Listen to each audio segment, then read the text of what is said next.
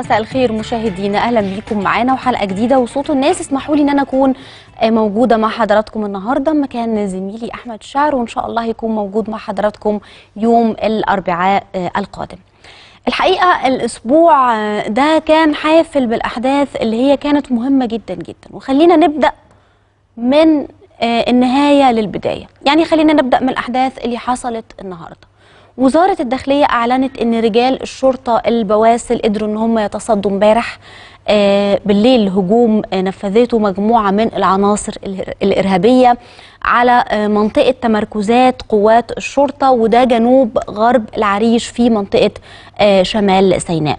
رجال مصر قدروا إن هم يتصدوا لهذا الهجوم الخسيس بعد مواجهات أسفرت عن استشهاد ضابط شرطة وست مجندين ومقتل أربعة من هذه العناصر. ده بعد انفجار حزام ناسف كان مع أحد الإرهابيين وكمان قوات الشرطة ضبطت بحوزة الإرهابيين أحزمة ناسفة وأسلحة آلية وأيضا قنابل يدوية وتمت مطاردة العناصر الإرهابية وتم اتخاذ الإجراءات القانونية وبتتولى دلوقتي نيابة أمن الدولة العليا التحقيق في اللي حصل امبارح. ده اللي حصل امبارح بالليل والداخلية أعلنته النهاردة الصبح. طيب خلينا نتساءل مع حضراتكم في جزئية أنه ليه الهجوم ده وليه اختيار هذا التوقيت تحديدا؟ ببساطة إحنا كلها كام يوم وهنبدأ نحتفل بذكرى ثورة 30 يونيو. المجيدة كل سنة وحضراتكم طيبين وكل سنة ومصر بألف خير. طبعا إحنا تعودنا إن في كل يوم بيمر علينا في 30 6 بيكون في احتفال بالإنجازات اللي حصلت بافتتاح المشروعات آه مشروعات كبيرة وكمان امبارح رجال الأمن الوطني بوزارة الداخلية قدروا إن هم يجهضوا مخطط إرهابي لجماعة الإخوان تحت مسمى خطة الأمل. هنتكلم عنه بالتفصيل. ده من تدبير وقيادة الجماعة وعناصر ده بيتزامن أيضا مع الاحتفال ب 30 6 زي ما قلت لحضراتكم. فمعنى كده إن الموضوع مش وليد الصدفة معنى كده إن إحنا بنقابل مخطط بيحاك ضدنا ممنهج ناس عارفة هي بتعمل إيه وبتختار التوقيت إزاي. إمبارح بالليل المتهمين في قضية خطة أمل اللي قلت لحضراتكم عليها قررت نيابه أمن الدولة حبسهم 15 يوم على ذمة التحقيقات. معلومات قطاع الأمن الوطني كشفت أبعاد هذا المخطط اللي متورط فيه قياديين إخوانيين هم محمود حسين وعلي آه بطيخ وأيضا الإرهابيين الهاربين معتز مطر ومحمد ناصر. آه المحكوم عليه أيضا أيمن نور. تمكن رجال الأمن الوطني من تصوير هذه الكيانات الإرهابية اللي تم ضبطها امبارح. عشان نتكلم أكتر أو نعرف أكتر أبعاد هذا المخطط الإرهابي. خلينا نتابع هذا الفيديو. وارجع أكلم حضراتكم في هذا الموضوع بالتفصيل. اتفضلوا.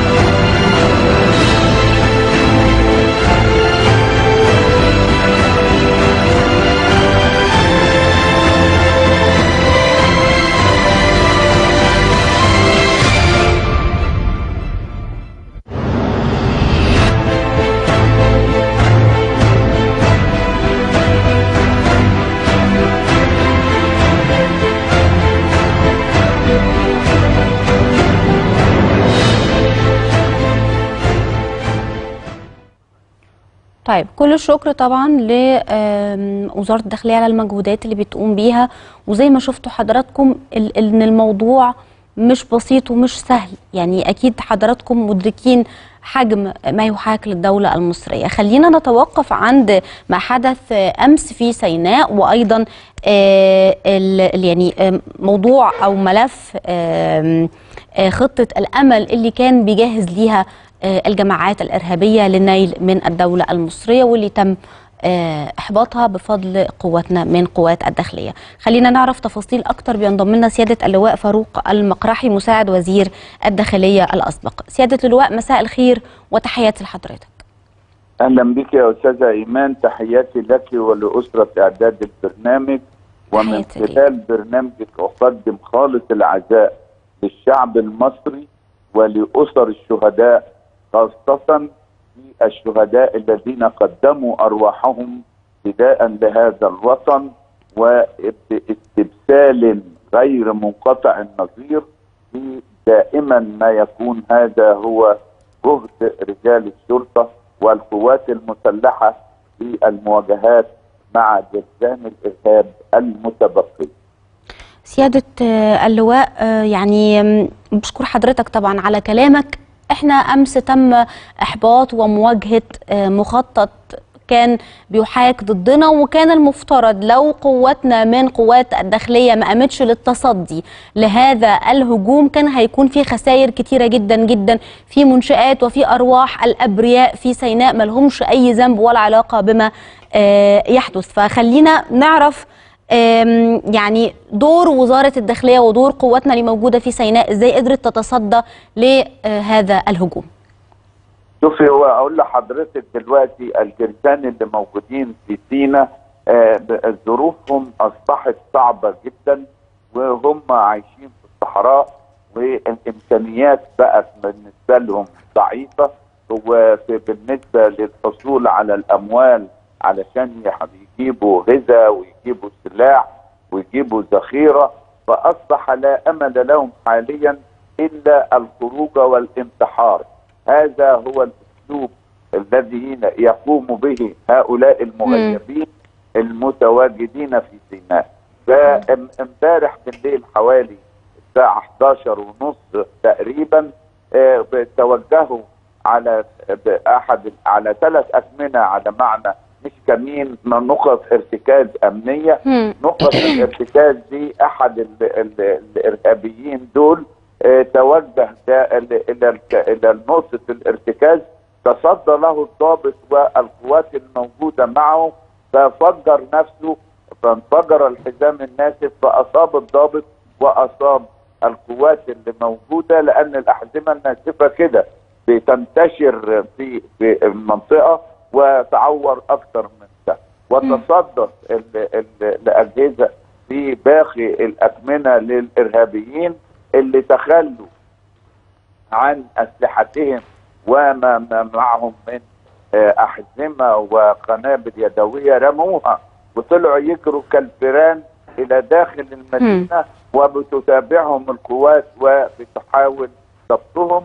وتم قتل أربعة من الإرهابيين في موقع الأحداث ليلا في الساعة 11 ونص وجاري العمل على ضبط الآخرين الذين استخبوا في آه، وسط المواطنين في المدينة مم. بعد تخليهم عن الأسلحة والأحزمة التي كانت معهم طيب ده تحليل ما دار آه، أمس من جو من من مواجهة لقواتنا للإرهابيين اللي موجودين هناك. خلينا نتحدث أيضا في الجانب الآخر وهو خطة الأمل. آم، خلينا نعرف المشاهد أبعاد هذه الخطة وما أسباب اختيار هذه الخطة في هذا التوقيت تحديدا يا فندم.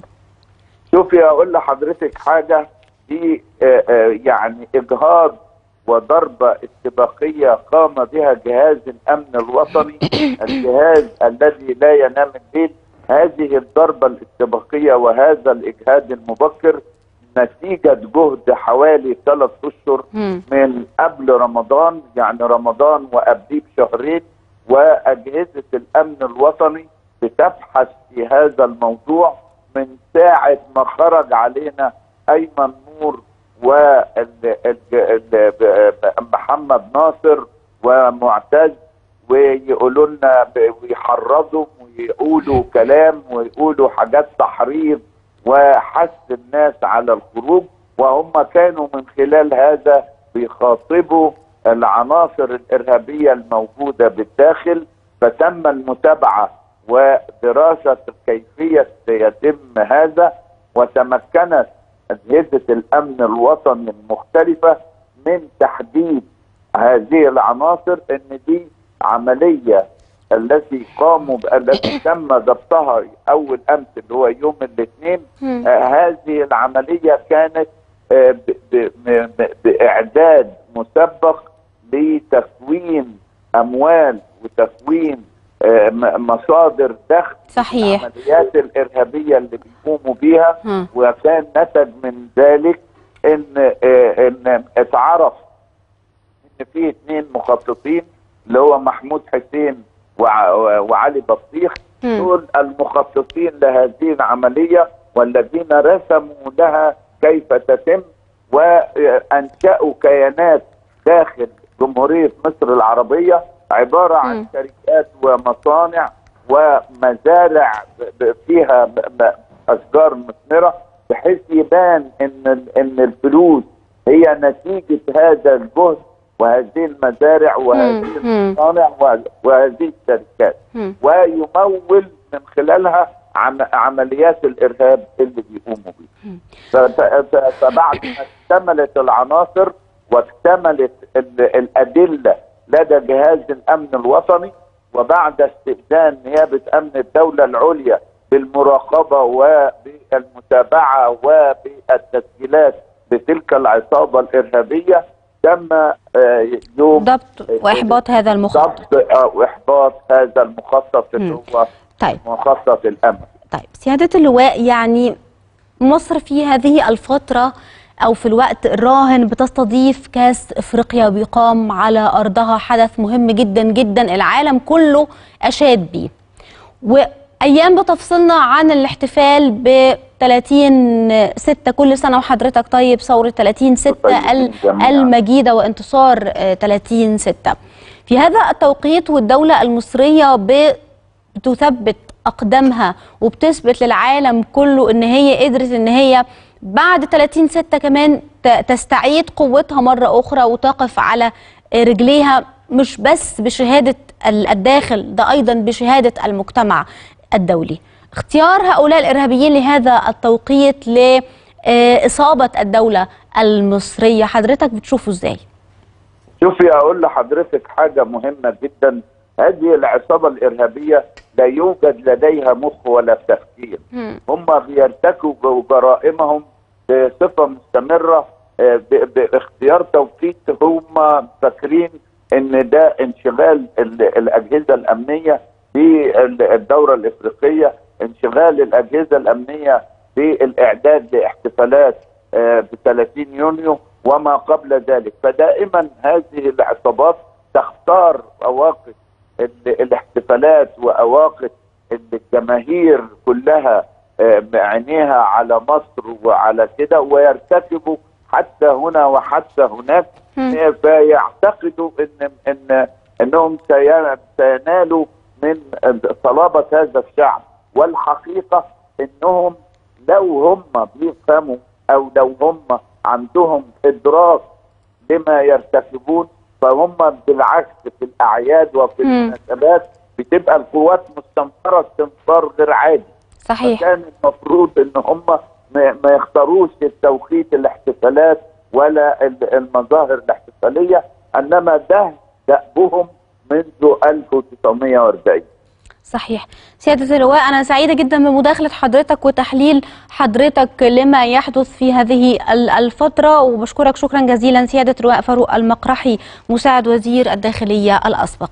ده تعقيبا وتحليلا لما جرى أمس ولإحباط مخططات الجماعة الإرهابية. خلينا نروح لمجابهة للإرهاب بس إرهاب من نوع بي- بيهدد الدولة المصرية وهو ملف الفساد. امبارح هيئة الرقابة الإدارية أعلنت عن ثلاث قضايا مهمة جدا جدا. القضية الأولى آه، أنا محتاجة إن حضراتكم تركزوا وتعرفوا يعني الفساد إزاي بيستشرى في الدولة المصرية وأيضا إزاي الدولة بتتصدى ليه. أول قضية انتحال أحد الأشخاص صفة عميل بأحد البنوك الكبرى. وقدر إن هو يس- يستولى على كامل المبلغ الموجود بحسابه بالبنك والبالغ 25 مليون جنيه. الهيئة شكلت طبعا مجموعات من السادة أعضاء آه، اللجان لإجراء التحريات اللازمة لكشف غموض الواقعة وملابستها أسفرت أعمال التحريات المؤكدة عن قيام مدير الخدمات المصرفية بالبنك. بالاتفاق مع مدير إدارة سابق بأحد المؤسسات الصحفية على ارتكاب الجريمة. مدير الحالي أفشى بيانات العميل والمعلومات الخاصة بحركة حسابه ونموذج توقيعه للمدير السابق بإحدى المؤسسات الصحفية. الاتنين قدروا إن هم يزوروا بطاقة رقم قومي انتحل بيها التاني صفة العميل الأصلي للاستيلاء على المبلغ. أخفوا المبلغ بشراء عدد من الأصول العقارية منها وحدة وحدتين آه، سكنيتين بكورنيش اسكندرية وأيضا كورنيش النيل في منطقة الزمالك ب 12 مليون جنيه. أيضا شاليه في المعمورة ب 3 مليون جنيه وعدد من السيارات الفارهة ذات الموديلات الحديثة بحوالي 5 مليون جنيه. عشان يقدروا إن هم يبدأ في تقنين آه لوضعهم. تم ضبط المتهمين وتفتيش محل إقامتهم بمحافظات القاهرة والجيزه واسكندرية وبشرت نيابة الأموال العامة العليا تحقيقاتها وأمرت بحبسهم 15 يوم على ذمة التحقيقات والتحفظ على كل ممتلكاتهم. دي القضية الأولى. يعني القضية الأولى دي بتبين لحضراتكم إن مفيش مفيش مجال إن يكون في شخص بعيد عن الشبهات. و... وإحنا عندنا دلوقتي في مصر مفيش حاجة اسمها إن شخص ممكن إننا ما نقدرش نوصل له أو الشخص ده نقدر نقول لأ ما ينفعش ممكن يداري على فساده زي ما كان بيحصل قبل كده كتير. دلوقتي ما بقاش موجود ال- الكلام ده. الحالة الثانية اللي موجودة آه، معانا أو القضية التانية آه، ضبط مدير عام الشؤون المالية والإدارية بمديرية التربية والتعليم بمحافظة القليوبية ومدير إدارة المشتريات السابق. بتسهيل استيلاء شركة مقاولات خاصة على مبلغ مليون ونص جنيه من قيمة الأعمال اللي بتنفذها بعض المدارس التابعة ليه. من خلال التلاعب في المستندات بعض العمليات المسندة تنفيذها للشركة وده مكنها طبعا من صرف مبلغ بدل من تحويله لصالح البنك الممول لتلك العمليات. وبيعرض المتهمين على النيابة العامة والنيابة بشرت التحقيقات واسترد آه، المبلغ آه، المستولى عليه. أمرت بحبس المتهمين 15 يوم وده على ذمة التحقيقات. ده النموذج آه، التاني اللي معانا النهارده أو القضية التانية نشوف كمان دي. الرقابة الإدارية ضبطت رئيس مكتب تموين عين شمس لاتهامه بتسهيل استيلاء ثلاثة من بدالي التموين التابعين للمكتب على سلع تموينية من المخصصات التموينية للمواطنين بالإضافة كمان لزيادتها دون وجه حق. وتم تقدير قيمة تلك المخصصات وصلت لمليون ونص جنيه. وبعرض جميع المتهمين على النيابة العامة قررت حبسهم أربع أيام على ذمة التحقيق. الحقيقة مهما اتكلمنا الرقابة الإدارية ما بتهزرش. كل قضية بالصوت والصورة والأدلة الدامغة موجودة واضحة. زي ما شفنا مصر إزاي بتحارب الإرهاب وبتحبط مخططات إرهابيين برضو مصر بتجابه إرهاب من نوع آخر وهو الفساد والفاسدين وبتتصدى بقوة يعني قوية جدا جدا لمجابهة آه، الفساد والفاسدين اللي لا يقل أبدا عن ملفات الإرهاب لأن الفساد المالي والإداري ده بيهدد كل المواطنين آه، المصريين أيضا وما بيقلش زي ما قلنا أهمية عن الإرهاب اللي بيحدث في سيناء. ده مجموعة من الأخبار الخاصة بمجهودات هيئة الرقابة الإدارية. النهاردة سيادة الرئيس عبد الفتاح السيسي توجه إلى اليابان وده للمشاركة في قمة مجموعة العشرين اللي هتعقد بمدينة آه، أواسكا ومشاركة الرئيس بالقمة بتأتي تلبية لدعوة من رئيس الوزراء الياباني اللي بتتولى آه، بلاده الرئاسة الحالية آه، للمجموعة وده في ضوء رئاسة مصر للاتحاد الإفريقي. لجانب طبعا العلاقات الوثيقة والمتنامية اللي بتربط بين مصر واليابان وما تمثله مصر من ثقل على الصعيدين الصعيد الإقليمي وأيضا الدولي. من المقرر أن يركز الرئيس خلال أعمال القمة على مختلف الموضوعات اللي بتهم الدول النامية بوجه عام وأيضا الإفريقية بشكل خاص. طيب إحنا عايزين نعرف تفاصيل أكتر بخصوص هذه الزيارة. إحنا بينضم لنا المهندس إبراهيم العربي رئيس مجلس الأعمال المصري الياباني. باش مهندس إبراهيم مساء الخير وتحياتي ليك يا فندم. أهلا بيك معانا أهلا بيك. أهلا. بنتكلم عن زيارة السيد رئيس اليوم لليابان لقمة العشرين. من أبرز الملفات اللي هتكون على طاولة المباحثات هي الملف الخاص بالدول النامية وأيضا الملف الخاص بالدول الإفريقية خلينا نتحدث في البداية عن ملف الدول النامية وما تسعى إليه من جهود الدولة المصرية ل يعني لمساندة الدول المتقدمة للدول النامية في كافة المجالات كيف يتثنى ذلك في ضوء قمة العشرين بفضل الله في خلال فترة رئاسة سياده الرئيس تم تطور كبير جدا للاقتصاد المصري وعمل مشاريع. قومية كبيرة جدا فدي تجربة يجب نقلها إلى كل الدول ال- النامية. والمساعدة على إنها يعني تحسن من اقتصادها وتحسن من موقفها. المالي ودي تجربة حية وواقعية. فيها تجارب كثيرة ودي أعتقد دي ال- اللي هتبقى المحور الأساسي في. في هذا المؤتمر. وبالمناسبة في مؤتمر تاني حي- هيعقد برضه في خلال شهر أغسطس هو المؤتمر الخاص بالافريقي ال- الياباني. وده إن شاء الله برضه هيبقى فيه مشاركة فعالة من رجال الأعمال المصريين. والفرقة برضه هيبقى بحضور سيادة الرئيس إن شاء طيب. الله من وجهة نظر حضرتك إزاي تقدر الدول ال- ال- النامية تقدر إن هي آه، تدمج في الاقتصاد الدولي والاقتصاد العالمي يعني في نفس الوقت مع الظروف القاسية اللي بتمر بيها الكثير من الدول النامية يا فندم يعني حضرتك ديت هي ال ال الأساس فيها هي نقول عليها الرغبة الأساسية للدول لرفع من شأنها مم. والرفع من اقتصادها ورفع من شعبها.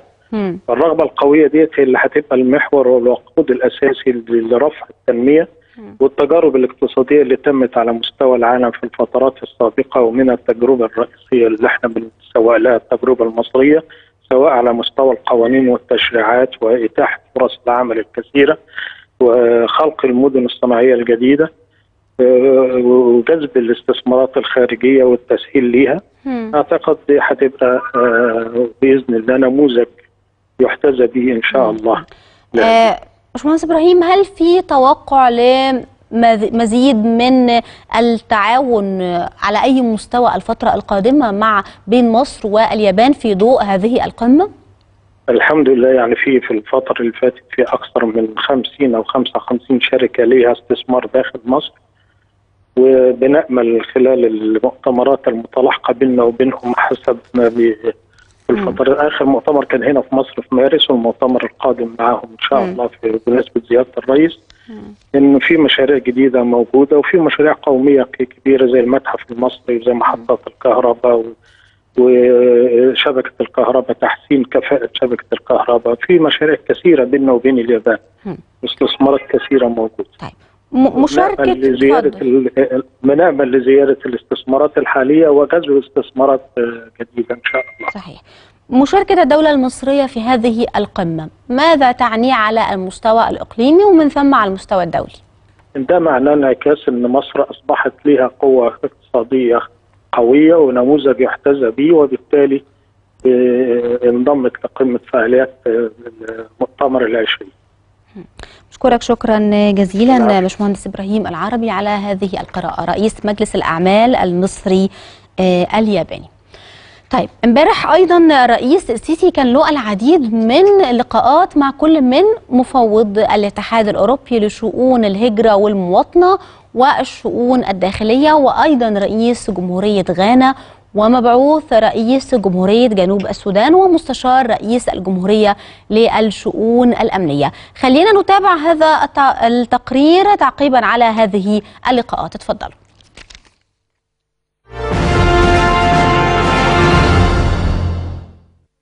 استقبل السيد الرئيس عبد الفتاح السيسي السيد توت جلوك مبعوث رئيس جمهورية جنوب السودان ومستشار رئيس الجمهورية للشؤون الأمنية وذلك بحضور السيد عباس كامل رئيس المخابرات العامة المتحدث الرسمي باسم رئاسة الجمهورية السفير بسام راضي صرح بأن السيد جلوك سلم السيد الرئيس رسالة من رئيس جمهورية جنوب السودان سيلفا كير تضمنت بعض جوانب العلاقات الثنائية بين البلدين فضلا عن استعراض التطورات الخاصة ببعض القضايا الإقليمية. كما استقبل السيد الرئيس عبد الفتاح السيسي الرئيس نانا أكوفو آدو رئيس جمهورية غانا الذي يقوم بزيارة لمصر. المتحدث الرسمي باسم رئاسة الجمهورية السفير بسام راضي صرح بأن السيد الرئيس رحب بزيارة رئيس غانا لمصر مؤكدا عمق العلاقات التاريخية التي تجمع بين البلدين ومشيدا بمجمل العلاقات بينهما على الأصعدة السياسية والاقتصادية والأمنية والثقافية. وأشار السيد الرئيس إلى أهمية مواصلة تعزيز التبادل التجاري والاستثمارات المتبادلة بين البلدين مشيدا بتنامي التعاون بين مصر وغانا في مجال بناء القدرات من خلال البرامج المختلفة التي تنظمها الوكالة المصرية للشراكة من أجل التنمية. في إطار إيمان مصر بأهمية الاستثمار في الموارد البشرية بالقارة. كما أعرب السيد الرئيس عن اهتمام مصر بالحفاظ على دورية التشاور السياسي على مستوى وزارتي الخارجية ومواصلة التنسيق حول سبل ترسيخ الأمن والاستقرار في القارة الإفريقية. كما استقبل السيد الرئيس السيد ديمتريس أفراموبولوس مفوض الاتحاد الأوروبي لشؤون الهجرة والمواطنة والشؤون الداخلية وذلك بحضور السيد سامح شكري وزير الخارجية والسيدة نبيلة مكرم وزيرة الهجرة وشؤون المصريين بالخارج وسفير الاتحاد الأوروبي بالقاهرة. السيد الرئيس أكد خلال اللقاء اهتمام مصر بتعزيز علاقاتها بالاتحاد الأوروبي في مختلف المجالات ومنها مكافحة الهجرة غير الشرعية مشيرا سيادته إلى حرص مصر على التعامل مع موضوعات الهجرة من منظور شامل يتضمن معالجة الأسباب الجذرية التي تدفع المواطنين للهجرة دون التركيز فقط على الحلول الأمنية قصيرة الأجل.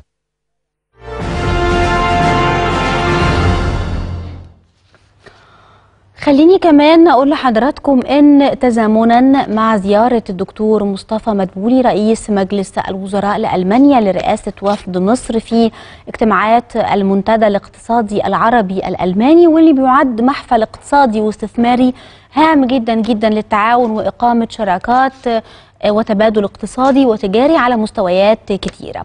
نشر المركز الإعلامي لمجلس الوزراء إنفوجراف استعرض من خلاله أبرز جوانب التعاون المصري الألماني فضلا كمان عن تسليط الضوء على عودة شركة مرسيدس الألمانية من جديد للسوق المصرية وقيام شركة بورشا الألمانية بضخ استثمارات جديدة بمصر وأيضا تعزيز أفاق التعاون مع شركة سيمنز الألمانية وكذلك أبرز المعلومات حول الاقتصاد الألماني.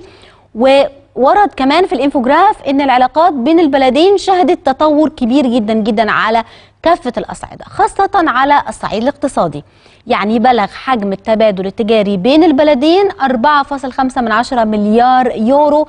الكلام ده في عام 2018 وكمان شهدت صادرات المصرية لألمانيا زيادة بنسبة 10% لتصل حوالي 10% وكمان ارتفاع نسبة الصادرات المصرية البترولية لألمانيا عشان توصل لنسبة 23% ووصلت ل 168 مليون يورو ده خلال الفترة من يناير لمارس 2019 مقارنة ب 136 مليون يورو خلال نفس الفترة من عام 2018 خلينا كمان نقول لحضراتكم إن خلال المشاركة في هذا المنتدى أعرب الدكتور مصطفى مدبولي رئيس مجلس الوزراء عن تقدير القيادة السياسية والحكومة المصرية علاقات التعاون مع الجانب الألماني.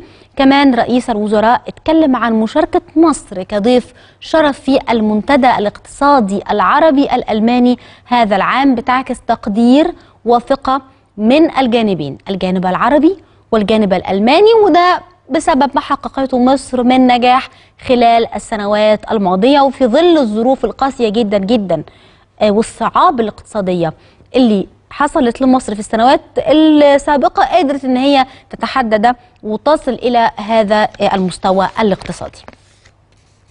خليني أنتقل معاكم لموضوع آخر وأنا واثقة إن هذا الموضوع هو من أهم وأبرز الموضوعات اللي حضراتكم منتظرينها النهارده. هيلتقي منتخب مصر مع الكونغو الديمقراطية ضمن لقاءات الجولة الثانية في مجموعة الأولى بطولة كأس الأمم الإفريقية 2019 اللي بتستضيفها مصر ليوم 19 يوليو المقبل. المباراة هتقام الساعة العاشرة مساء في استاد القاهرة الدولي.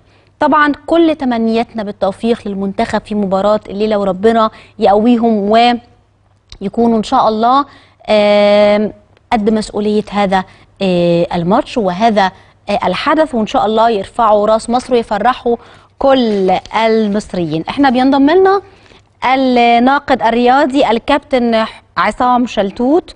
آه نتعرف منه على تفاصيل أكتر على كواليس اليوم وما سيحدث اليوم وتوقعاته. خلينا ناخد يعني يعني كلمات سريعة كده عن آه ما دار بين منتخب مصر ومنتخب الكونغو في السنوات السابقة. كابتن عصام مساء الخير وتحياتي ليك.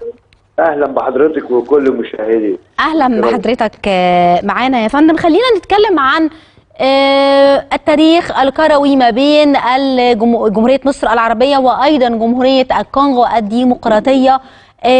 يعني اللقاءات اللي حدثت بين المنتخبين. يا فندم اتفضل لا ده محتاج أرشيف بقى. يعني الزملاء يعني يكتبوا لك بيه آه، يعني ستريبة كده تحطوها على الشاشة. لكن هو الأهم في المحطات دي. لما كانت الكونغو الديمقراطية زئير يعني كان ليها فصل بارد معانا خرجتنا من الدور قبل النهائي في بطولة أفريقيا 1974 كان وقتها اللي بياخد البطولة بيروح كأس العالم وكانت في ألمانيا كأس العالم دي على فكرة. آه، لكن إحنا عندنا تفوق عليه أعتقد بسبع مباريات وتعادل مرتين وهزيمة آه، مرة اللي قلت حضرتك عليها وهي الكون وهي الكونغو كنشاسا كانت زئير طبعا.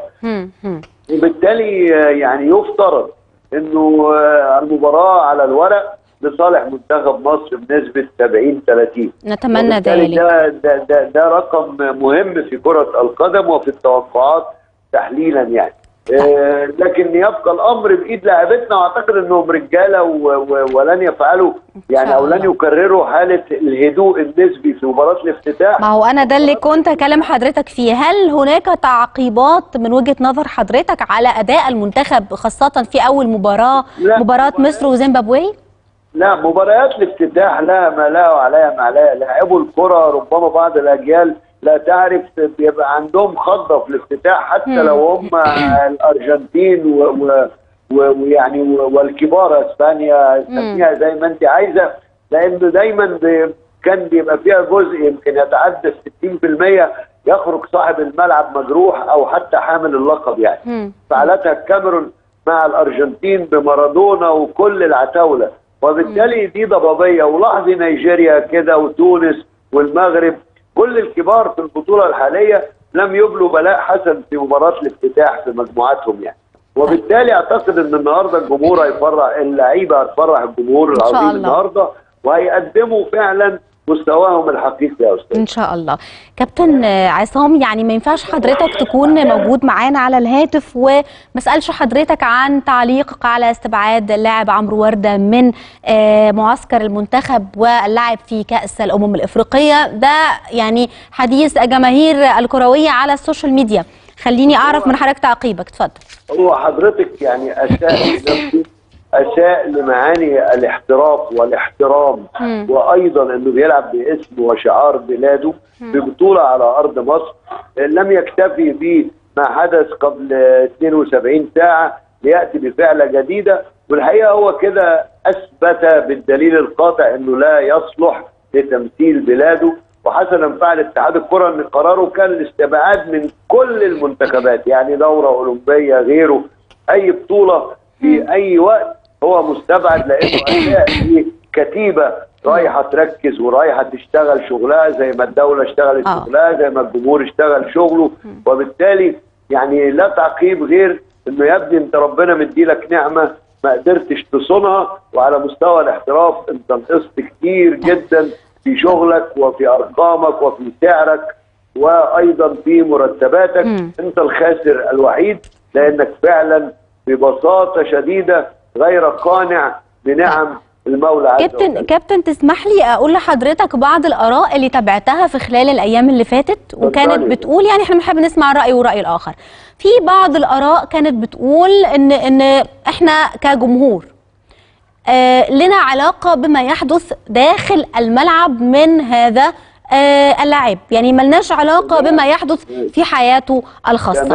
هل. حياة أبطالنا يعني هل نحن كجمهور أو كمواطنين من حقنا إننا يكون لنا علاقة بما يحدث في الحياة الخاصة أم أن كل ال- ال- الرموز اللي موجودة عندنا سواء في الفنون سواء في في ال- في ال- في, ال- في الرياضة لازم إن هي تكون على قدر هذه المسؤولية. السيد الرئيس قال للعيبة إن الفوز بالكأس هو إعطاء نموذج للشباب وأن تكون المثل الأعلى. بلاش كده لانها ليست فقط كلمات رئاسية ولكن بتسهل عليهم كان في السابق تستعمل كرة القدم ويقولوا لهم لازم تجيبوا الكاس لكن المرة دي ومصر تبني جيل من 2013 بوثيقة وقعناها جميعا اسمها مصر الجديدة أصبح لكل منا دور. آه الحياة الخاصة لا تخترق بس إمتى حضرتك في الويك إند والأجازات والكلام ده. لكن المعسكر مش يكن المعسكر صحيح. حياة خاصة مم. بوضوح شديد. أيضا وهذا هو الأهم. عندك مشكلة أخرى. حضرتك ألا وهي إنه يبدو إن ما وصلكيش الفيديو الأخير واللي تم رفعه من على اليوتيوب يعني بطريقة يعني سخف أن تكون في مشكلة من 72 ساعة ثم تلحق بها مشكلة ليلة لا يعني المباراة. آه، كابتن عصام إحنا وصلنا طبعا كل هذه الملابسات أنا بحاول إن أنا أنقل لحضرتك كل التساؤلات والتعقيبات اللي أنا على المستوى الشخصي تابعتها عايز آه فهماك يا كابتن صحيح الآخر. طيب برضو خليني آه، نعرف ال- ال- ال- المشاهد والأجيال الجديدة إن ده مش أول مرة يحصل إن في اتحاد الكرة يمنع آه، لاعب من خوض المباراة أو يخر- يخرجه من المعسكر. ده حصل في كأس أفريقيا كذا مرة مع كذا لاعب آخر. لكن مش للسبب العنيف أو السخيف بين تنصيص كده ده. آه لكن كانت الاستهتار في يوم أو آه ساعات مش بهذا الكم من الاستهتار بمشاعر الناس وأيضا بتركيز آه، زملائه يعني. وبالتالي لا يوجد ثمه مقارنة الحقيقة يعني. صحيح. أنا بشكرك شكرا. شكراً. آه، جزيلا كابتن عصام شلتوت على هذه ال- القراءة. الحقيقة الموضوع كان آه، حديث ال social media الأيام اللي فاتت. وإحنا عندنا في, مصر ال ال مش هقول التعصب الكروي عشان أنا مش بحب هذه الجملة لأن ما فيش تعصب أبدا المفروض يكون في الرياضة. لكن عندنا ناس مواطنين بسطة جدا بالنسبة لهم اللعيبة بتوعنا دول أو أو الفنانين يعني بشكل عام القوى الناعمة اللي في المجتمع المصري بيمثلوا عندهم آم، حاجة وقيمة كبيرة جدا جدا. بيزعل قوي قوي قوي ال- ال- ال- المشاهد ده أو أو الجمهور ده لما يحصل سقطة أو غلطة أو خطأ من قبل آه، الشخص اللي هو بالنسبة له يعني مهم جدا جدا بيحقق له فرحته. يعني ال ال الناس وهي بتتابع المباريات دي لما ال ال الجول بيحصل الناس كلها قلبها بيفرح. ولما في جول بيجي مثلا ما ما بي ما بيظبطش أو حاجة الناس كلها بتحزن. فأنا محتاجة الناس تفهم هي قد إيه مؤثرة عند المصريين تحديدا المنتخب المصري. أنا إحنا مش أوصياء على أخلاق أحد. ولا إحنا من حقنا ولا إحنا جهة وصاية إننا نقول الناس تعمل كذا أو ما تعملش كذا. وزي ما قلت الكابتن عصام حياة الشخصية بتاعه الأشخاص دي حرية ليهم. لكن ما تخرجش لل- للمجتمع ما توصلش لل- للشارع أو للناس العادية. ما تهزش الصورة اللي المفروض تكون متاخدة عن منتخبنا ال- ال- الراقي. المحترم. فاحنا مش بنقول ما حدش يعمل كده أو حد يعمل كده دي مش من ده مش من واجبنا. ولكن إحنا بنقول لحضراتكم إن في آه، أخلاقكم وتصرفاتكم ونجاحكم وإخفاقكم مش مسؤوليتكم لوحدكم أو مش بيعود عليكم لوحدكم. ده بيعود على 100 مليون مصري. فمن فضلكم تكونوا آه، قد هذه المسؤولية. بعد الفاصل صوت الناس مكمل مع حضراتكم.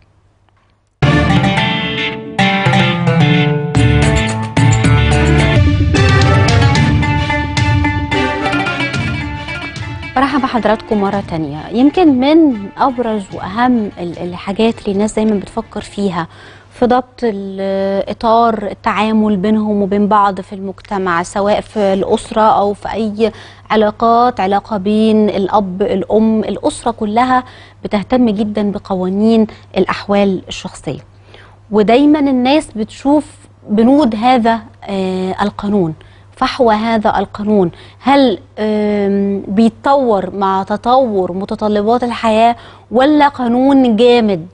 يعني المواد اللي موجودة فيه لا تتناسب مع طبيعة حياتنا دلوقتي في المجتمع المصري وفي هذه السنوات في ضوء ال- الانفتاح وتطور التكنولوجي وما يحدث في المجتمع من تطورات وتغيرات بتطرق على أي مجتمع. قانون الأحوال الشخصية الجديد اللي بيشغل كل فرد في المجتمع. هنتناقش فيه النهاردة ونتناقش مع حضراتكم في إيه هي المواد اللي إحنا محتاجين لها في هذا القانون؟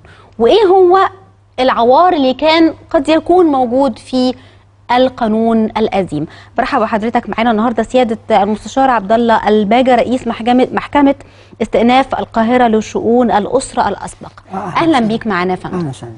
أهلا بحضرتك. قانون الأحوال الشخصية اللي إحنا كنا بنشتغل بيه بقالنا سنين طويلة. تمام. إيه أبرز ملامح هذا القانون؟ عندي في آه ال ال آه عشان نحط الأمور في نصابها هي بدأت تشتغل صح يعني القانون رقم 1 سنة 2000 يعني المشرع بدأ يفكر آه صح في سنة 1 سنة 2000 بدأ يعمل قانون الإجراءات.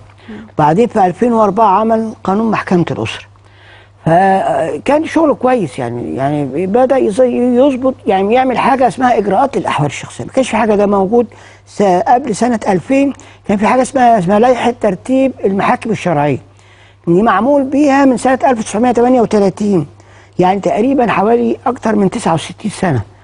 فطبعا كان فيها قصور. وقانون 2000 برضه في قصور. فكان في النهاية يعني كان تفكير كويس برضه. ولما ركز في الأحكام الموضوعية كان كل اهتمامه على إن هو على السن الحضانة وعلى الولاية التعليمية. ده بس اللي فكر يعدله في الفترة والعمل الخلع. يبقى لو بصينا للتعديلات الموضوعية اللي اتعملت في خلال مثلا ال 100 سنة اللي فاتت هنلاقيها كلها ركزت على إن هو إزاي بيزود سن الحضانة أو إن هو يفتح المجال في التطليق ما برضو دي كانت أبرز يعني. الملامح آه دي كانت لكن كان في غياب لحاجات تانية يمكن ما كانتش ظاهرة أو متفشية زي الفترة دي. زي مثلا الجواز العرفي تمام. أو زواج القاصرات. تمام. كل دي شواهد بدأت تظهر في المجتمع بتخلي إن لازم يكون في قانون بينظم ويضبط هذه العملية. تمام. مم. تمام. حلو. طيب أنا هنقول بنبذة سريعة. أنا محتاج إيه الأول؟ بعدين هتعرض لحتة السلبيات اللي ما كانت موجودة. تمام. أنا محتاج إن أنا عشان أوصل لتحقيق لتحقيق الاستقرار الاسره في مصر ان أنا محتاج لقانون. إن أنا أضم القانون رقم سنة 2010 سنة 2004 وأعمل منه قانون إجراءات يتبلور في أهداف رئيسية. إن أنا أحقق عدالة سريعة ناجزة وتنفيذ مأمون تنفيذ مضمون. يعني إن أنا أنفذ الأحكام تنفيذ وأحط ضمانات للتنفيذ. يبقى أنا عايز آلية إجراءات وآلية في الإثبات وآلية في التنفيذ عشان أحل مشكلة الأحوال الشخصية وده هيسهم في حل أكتر من 60 في نقول 70% من مشاكل الأحوال الشخصية. إن أنا أعمل التقاضي على درجة واحدة من قضاة الاستئناف العالي. معلش يا فندم يعني إيه تقاضي على درجة واحدة؟ يعني مثلا زي الخلع. الخلع في مصر على درجة واحدة. صح؟ والمحكمة الدستورية قررت هذا المبدأ لأنه طعن بالدستورية قال لك إيه إزاي يبقى التقاضي على درجة واحدة؟ والدستورية ما فيش ما يمنع أن يكون التقاضي على درجة واحدة. اللي هو المحكمة الابتدائية لا أنا هخلي التقاضي ده بدل ما يبقى درجة واحدة هعدي فرصة أن يكون فيه نضج وفيه لطبيعة القضايا الأحوال الشخصية فهخلي القضاة من الاستئناف العالي. هيترتب على كده إن أنا كده كده بخلي القضية تستأنف امام الاستئناف العالي. يعني يبقى في مساحة لاستئناف القضية لا أو أنا عايز أو البت عايز يبقى درجة واحدة وهي مش عايز يكون مش فيها عايز يبقى. بدرجتين آه. لأن ده بيهدي يا حضرتك أنا دلوقتي الست يعني خش حضرتك 90% من مشاكل الأحوال الشخ 99% خلاص؟ طلاق في والخلع. النفقه لا في النفقه والحضانة. في النفقة والحضانة. دي دي 99% من مشاكل الاحوال الشخصية. في يعني حضرتك بتشوف. إنه- الحضانة إنه- اللي هي ماسك الحضانة وأجر الحضانة التعليميه وما يترتب عليها من اثار وإن إزاي الست تاخد نفقة سريعة تنقذها من اللي هي فيه. تمام؟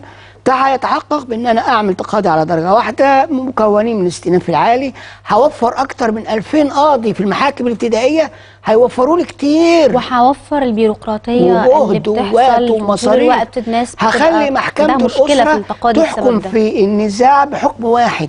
يعني إذا حكمت المحكمة بالتطليق ما تطلقش وتسكت. لا تحكم في الآثار المترتبة على التطليق آه، آه. يعني مثلا تحكم في مصاريف التعليم والعلاج والرؤية ومسك الحضانة. مش هنحتاج لقضية أخرى بقى. حضرتك قضية الطلاق بيتفرع عنها 30 قضية. ما هو آه حضرتك تقصد ده في إن- الدرجة الأولية مم، وفي الاستئناف 60 قضية. يعني 90 قضية عن نزاع واحد. طب مين اللي يحتمل كده؟ يعني أولا جهد وفلوس ووقت وكله بيأثر تأثير غير مباشر على الحياة الاقتصادية من ناحية أخرى برضه. طيب معلش. تمام. أنا عايزة من خلال وجودك معانا نتكلم مع الناس ب ب ب بلغة أقرب لهم آه. عشان يبقوا فاهمين هم بيواجهوا ال- المشاكل دي في حياتهم تمام. تمام دلوقتي مش عايزة أقول قانون معنوي لكن لكن أحيان كتيرة ممكن ال الشاكي أو السيدة اللي مثلا طالبة الطلاق آه. أسبابها غير مقنعة تمام يعني هي فجأة حست إن هي مش عايزة تكمل حياتها. بدون بدون ذكر أسباب آه. قهرية أو تمام. قوية لل- للمحكمة. تمام. تمام؟ إحنا ليه ما ما ما نديش أو ما نتيحش الفرصة بده؟ وهي النقطة في حاجة. عندنا سيدات كتير بيضطروا إن هم يكملوا حياتهم عشان يربوا أولادهم. خوف من إن الأطفال يتاخدوا منهم. أنا مش بتكلم بفكرة إن مع المرأة أو ضد الرجل أنا بتكلم آه. ك على سبيل المثال. نعم. فليه إحنا ما نسهلش الموضوع شوية على الناس؟ آه هقول لحضرتك حاجة. هو القانون مش مش سهل ده عمل حالة إسهال. مش سهل. قانون سهلها قوي يعني. معلش يعني. ليه يعني؟ اولا حضرتك معلش يعني أنا ما أعرفش الكلام ده زي القانون إدى استس... مش هقول استثناءات إدى حقوق أو مكتسبات. يعني مش هقول مش هقولها مش هصف عليها الصفة الاستثنائية آه. لأن ليها سند في الشرع. اولا اداها حق الخلع بدون أي ابداء أي أسباب أو ضرر. مجرد إن هي تبغض الحياة مع زوجها وتخشى لا تقيم حدود الله معاه ده سبب للتطليق بدون داعي لا, ت... لا, لا, لا يكون في ضرر ممكن يكون كويس جدا زي ال ال ال الحديث بتاع الرسول عليه السلام آه، في زوجة قيس لما لا, لا إني آه، لا, أكره في خلقا ولكن أكره الكفر في الإسلام. هي مش يعني مش مش مش قابلة تعيش معاه. فقال فالرسول عليه السلام آه، قال لها ردي علي حديقته وقال للزوج طلقها. تطليقا. فالخلع له سنده في السنة وفي القرآن. وإن خفتم ألا يقيما حدود الله فلا جناح عليهما فيما افتدت به. تلك حدود الله. ماشي. ومن يتعدى حدود الله فاولئك هم الظالمون يبقى اذا ربنا نظم الخلع فاذا أنا مش محتاج إن أجبر الزوجة إنها يبقى عندها سبب أو ضرر مجرد كرهها للزوج سبب للتطليق في المادة 20 من قانون حصة 2000 طيب إداها حق برضه استثناء تاني في الزواج العرفي. يعني قبل القانون القصاص 2000 كانت الزوجة العرفية غير معترف بها في القانون. صحيح. ولا ليها أي تمام؟ حقوق لا ولا أي القانون رقم 1 2000 2000 قال لك إن الزوجة العرفية اللي الزواج إذا كان ثابت بأي كتابة يعني لو جواب بينه وبين بعض بتقول له حبيبي ومش عارف إيه وخلاص والقاضي استشف ان هم متزوجين أصبحت زوجة له. لكن القانون هنا يعني تعامل مع الموضوع بشكل استثنائي برضه لصالح المرأة. إزاي؟ قال لك هي من حقها كزوجة تطلب الطلاق. أو الفسخ. لكن مش من أو إثبات النسب. لكن- لكن مش من حقها إنها تطلب حقوقها كزوجة. يعني إنها تورث ولا إنها تاخد حقوق ده في. حالة الزواج العرفي. ده حال الزواج العرفي. طيب أنا عايز أسأل سؤال. المشرع لما حط الكلام ده تعامل مع المرأة على أساس إن هو طب هي زوجة ولا مش زوجة؟ إذا كانت زوجة ليه بعترف بيها لما تطلب الطلاق بس؟ يعني يا أعترف بيها لما ما اعترفش بيها بس. لا، آه. يعني يعني. أنا أقصد إنه هنا برضو في عوار قد آه. يشوب القانون هنا بعض العوار هو ومع هذا ده شجع ده أحد أسباب زيادة الزواج العرفي في مصر لحد ما وصل لنسبة غير مسبوقة صحيح. بعد قانون حصة 2000 يعني الز- الزواج العرفي وصل بعد القانون رقم 1 سنه 2000 لنسبة غير مسبوقة في مصر ما حصلتش قبل كده لأنه بقى سهل خلاص أنا في ست اصل حضرتك ما ال- المسائل المالية يعني أو يعني مستوى هي عايزه تتجوز تمام ممكن تكون حاضرة ممكن تكون أرملة ممكن تكون بتحصل على معاش صحيح. أو عايزة تتجوز عايزة بس اتكلم إيه؟ حضرتك من غير ما تعمل شوشره كنت عايزة يعني أوضح ع- للمشاهد إن أنا عايزه عايزة تتجوز من غير ما. تعمل تحس إن المجتمع عرف إن موضوع آه. الزواج العرفي لأن ممكن ال- المشاهد يقول أنتوا بت- بتشجعوا على الزواج العرفي لا إحنا مش بنشجع على الزواج العرفي إحنا بنتكلم في الحالات اللي بتبقى مضطرة تعمل ده زي ما أشار إليها سيادة المستشار يعني زي مثلا ال- السيدة اللي بتاخد معاش آه. وخايفة من. انقطاع هذا المعاش تحايل وده طبعا تحايل على يعني القانون. بس أنا آه، أقصد إن قد يعني. يكون في في بعض في- الحالات ما أنا فتحت الباب أنا فتحت للزواج الباب. العرفي فهي عايزة تخلص هتروح ترفع قضية تطليق وهتترفع. لكن لو راحت تطلب إن حق حقوقها كزوجة أنا بقول لها لأ. يعني ده في خلل خلل خلل منطقي وخلل اجتماعي. النقطة التا- الاستثناء الثاني إن إدى للحاضنة الولاية التعليمية على الأولاد. إن اداها لها إن القاضي يخيرها هي اللي تختار الأجر أو المسكن. طب لنفترض إن هي مثلا إن إن إن سلب المسكن من الأب هي- هيسبب له ضرر جسيم هيروح الشارع. وهو ممكن يوفر لها مسكن بديل أو ممكن يوفر لها أجر مسكن. ليه بدي الاختيار للمطلقة؟ ليه ما بحطش؟ هما الاثنين في الاختيار يعني. لا هي اللي تختار بس. برضو؟ الح- آه, هو- آه. هو ما يختارش. هو اللي هتختار لأن هي. الحاضنة. آه تمام. واداها الولاية التعليمية ومد سن الحضانة ل 15 سنة سنه 2005 وجا عند المادة الوحيدة اللي بتربط الأب بأولاده اللي هي الرؤية وما جاش ناحيتها خالص. مع إن كل ده موجود في المادة 20 يعني مادة الحضانة وترتيب الحاضنات موجودة في المادة 20 يعني المادة 20 دي اتعدلت في سنة آه، 85 وتعدلت في سنة 2005 طب عدل الرؤية. هل ينفع إن عليك إن إن أنا أ- أ- أخلي الرؤية من 100 سنة هي هي زي ما هي ثلاث ساعات في نادي أو مكان مقفول؟ هو ده اللي بيربط الأب باولاده لا طبعا. بعد 15 سنة ده لو قدر ياخدهم لأن الحض... لأن ماده الحضانة بتقول لك بعد 15 سنة الصغار بيخيروا بيخيروا من مين؟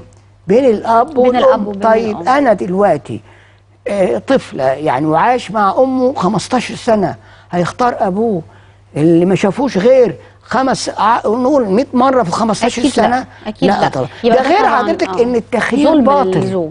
التخيير باطل ليه؟ أنا نفسي افهم المشرع اولا التخيير ده بيو- بيؤدي إلى قطع صلة الرحم. ليه؟ لأن أنا لو اتحطيت- ده. آه. آه. لو أنا كأب دلوقتي ولقيت ابني اختار آه، ما اختارنيش هزعل ولا مش هزعل؟ أكيد هتنزل هيؤدي إلى قطع صلة الرحم ولا في نفسي؟ هل هحبه زي الأول؟ أكيد هيبقى في شرخ. وبعدين هل يصلح إن طفل في سن 15 سنة إن يكون شاهد على نفسه لمصلحته شاهد على ابوه ومدرك لمصلحته لا. عشان يختار هذا الاختيار القاسي. فالمفروض إن أنا أخلي إن السلطة بعد 15 سنة تبقى للقاضي. هو اللي يقدر مصلحته فين؟ لو مصلحته مع أمه تقعد. ولو مصلحته مع أبوه يقعد مع أبوه. وبعدين أنا ترتيب الحاضنات اللي معمول برضو ده حضرتك اللي هو ام أم الأم أم الأب وبعد كده بعد أم الأب ال- الأخوات الشقيقات بعد كده الخالات بعد كده الأخوات غير الشقيقات بعد كده العمات بعد كده الجد واخر واحد الأب. قدامه سلسلة حاضنات. وهو يا عيني قاعد مستني دوره لما يبقى يجي له يعني إن شاء الله. فأعتقد إن أنا ما أقدرش ألوم على الأب اللي هو ب ب ب خلاص بيقول لك الأب بيجي بعد فترة معينة ودي شكوى بتيجي كتير وأنا واثق منها. بيقول لك خلاص أنا مش عايز أشوفها. ما هو بيتعب. عشان ينفذ الرؤية بيتعب. صحيح. عشان يعمل أي حاجة بيتعب. طب ليه دلوقتي ما نستبدلش الكلام ده بالرعاية المشتركة؟ إن هو يستضيف أولاده أو يصطحبهم آه. يوم في الأسبوع. ده, ده, مع حالات معينة كل ممكن الدول ينفع. بتعمل لكن كده. في حالات أخرى بي أكتر من بي- مرة. يا بيخرج جماعة يعني هاتوا لي بيحصل دولة هاتوا لي دولة في العالم. واحد يجيب لي دوله بتعمل الرؤية بالطريقة طيب دي أنا أتحدى ما حدش هيلاقي. في حالات طلاق بتكون قاسية جدا جدا. يعني بيكون في أعمال مثلا عنف أو مواقف أحيانا عنيفة بتحصل. مصلحة للأطفال. ف- ف- بس ما ينفعش أحرم يعني حضرتك ما ينفعش أحرمه لا من أبوه أو أمه. طب نفترض دلوقتي الحضانة ك- يعني ال ال الأب تمكن إنه ياخد حضانة أولاده. ما هو الأم هتبقى صلتها بأولادها إزاي. برضه الرؤية. ثلاث ساعات في ال- في النادي في اليوم. ينفع تكون يعني نفترض إن العكس صحيح إن الأب خد حضانة الأولاد لسبب ما تزوجت بآخر أو لأي سبب من الأسباب. هل ينفع إن إن أخلي صلة الأولاد بأمهم إنه يشوفوها ثلاث ساعات مرة في الأسبوع؟ أكيد لا. يبقى اللي ينطبق على الأم يبقى ما يبقى ما ندورش على اللي, اللي لا وأنا على فكرة أنا مش ضد الاستثناءات اللي اتحطت للمرأة. بالعكس يعني أنا بعتبر المرأة دي يعني يا يا لابد أن تكرم ولابد إن يكون لها وضع لأن هي بتشكل محور أو مش محور عمود أساسي في المجتمع. ما أقدرش آه، يعني أنا عايز يعني دلوقتي الست بتشتغل بترجع البيت بتأدي كذا دور. الست حاليا في الفترة الحالي أو في الوقت المعاصر اللي إحنا فيه بتأدي دور الراجل ودور الست ودور الأم ودور المربية ودور الأستاذة اللي بتعلم.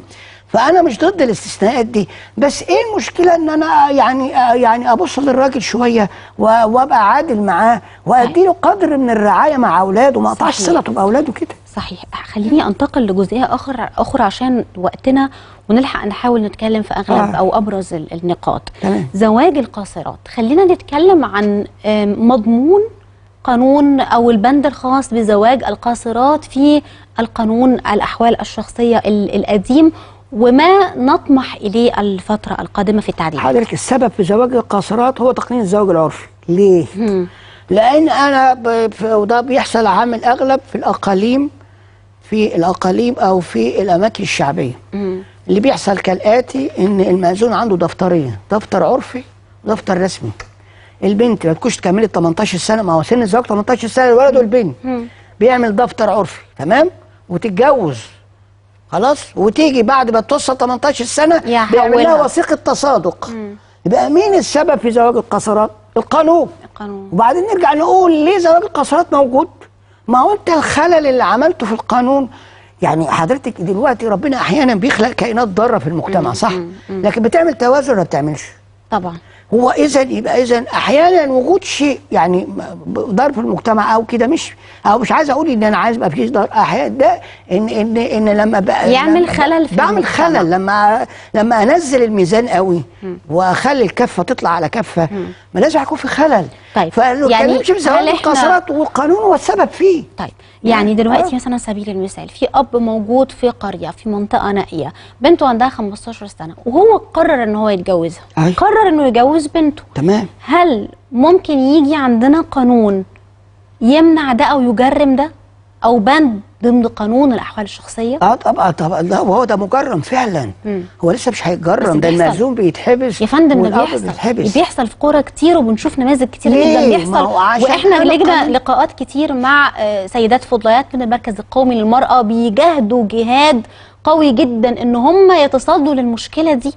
حضرتك أحلها. ان أنا امنع اولا الزواج امنع ال- الثغره اللي عملتها في القانون اللي هي السبب في زواج القاصرات.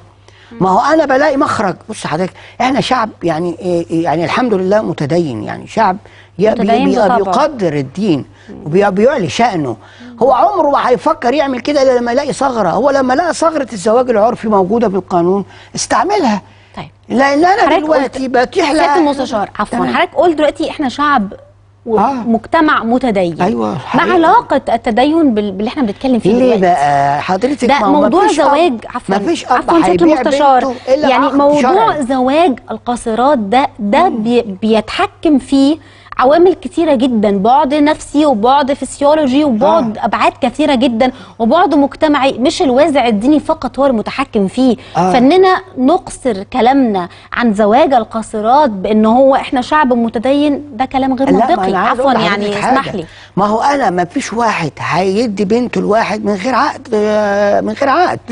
أو من غير ما يكون في زواج. إحنا بنقول قبل كلمة قاصرات إيه؟ قبل كلمة قاصرات إيه؟ زواج القاصرات. زواج. الزواج بيكون إزاي؟ يا عرفي يا رسمي انت قننت الزواج العرفي. بتعيب على إيه؟ ما انت اللي خلقت المشكلة. هل في إمكانية إن في قانون الأحوال الشخصية اللي- المعدل يتم تحديد أيوة. سن حتى أيضا للزواج العرفي؟ أنا بالظبط إيه إزاي ده يتعالج؟ وإحنا قلناها قبل كده. إنه لا يعتد. في سماع الدعوى الزواج إلا بالوثيقة الرسمية. هم. أنت متزوج عرفي وجوزت بنتك عرفي اولا هتتحبس واحد اتنين هتسمع لن تسمع دعواك. مم. تمام؟ إذا ك- إذا كان أنا اعترفت بيه كقانون بعدين أرجع أل- أ- ألوم على زواج القاصرات وأقول إن المجلس القومي بيحارب ومش عارف مين بيحارب. وأنت اللي عملت المشكلة أنت اللي أوجدتها؟ يعني القانون اللي أوجدها. وبعدين أقول في مشكلة. يبقى بمعنى آخر أنت حضرتك أنا ليه بقول كلمة متدين؟ لأن أنا كلمه قبل كلمة قاصرات زواج تمام طب الزواج يبقى إن هو من وجهة ده نظره مش حرام. إن هو لو ما لقاش الحلمة دي بتاعت كلمة زواج عمره ما في أب حقيقة مؤاخذة يعني هيحط بنته في علاقة غير شرعية سيادة المستشار أنا بشكرك وإحنا للأسف لا، لا. الوقت انتهى بس إن شاء الله. نلتقي بحضرتك. بعد ما آه، يتم صياغة آه، قانون. الجديد. ونشوف ال- ال- نقاط الضعف أو الثغرات اللي قد تكون موجودة في القانون القديم ونحاول إننا نعيد صياغته بشكرك شكرا جزيلا سيادة المستشار عبد عبد الله الباجي رئيس محكمة استئناف القاهرة لشؤون الأسرة الأسبق شكرا جزيلا. بشكر حضراتكم وقتنا خلص معاكم النهاردة وألتقي بحضراتكم إن شاء الله بكرة ويوم جديد وصوت الناس. إلى اللقاء.